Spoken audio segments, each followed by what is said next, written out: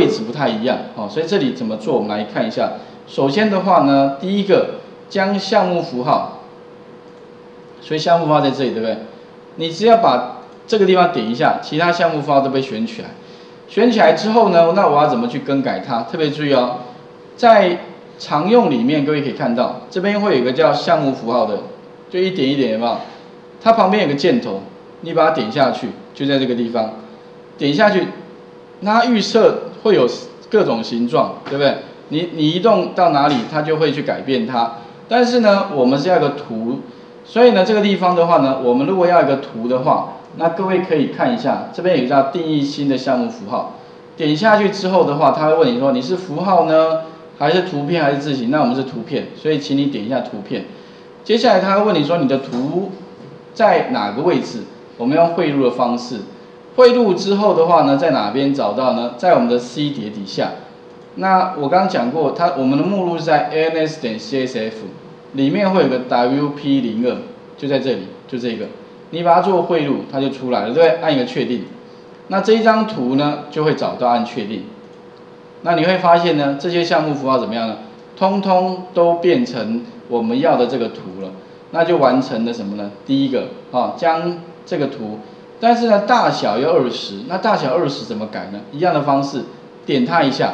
点它一下，其他都选取了。那预设是十二，请你把它改为多少？二十，有没有？二十比较大嘛，哈。你会发现它这个新功能，在二零一零的好处就是说呢，你可以移动它预览给你看，二十点下去，这样的话呢，全部都二十了。接下来的话哈，它的位置各位有没有发现？现在的位置垂直的位置啊，不是水平位置，垂直的位置是在靠哪里呢？靠下，有没有？那如果我说我今天呢，希望它怎么样呢？放在中间的位置是垂直的哦。垂直的话呢，哈，特别注意，我们刚刚呃这个就变成字的选取啊，这边字要把它选起来。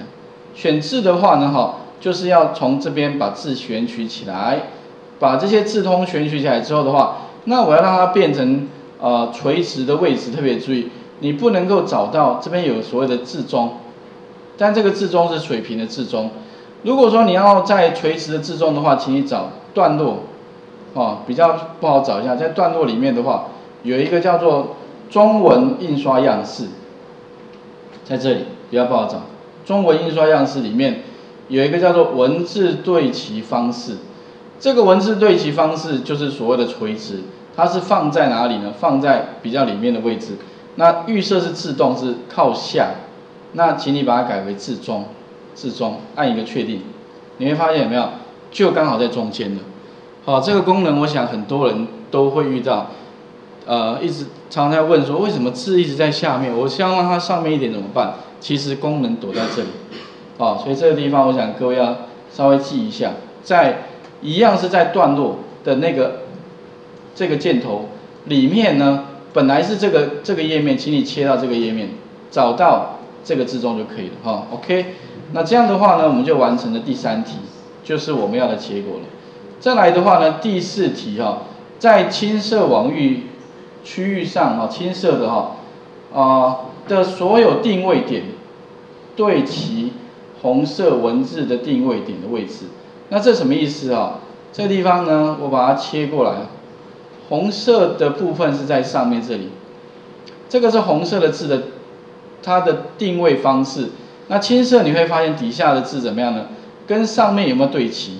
没有对齐啊，有没有？你会发现 Office 哎这边有对齐了。报名方式在哪里？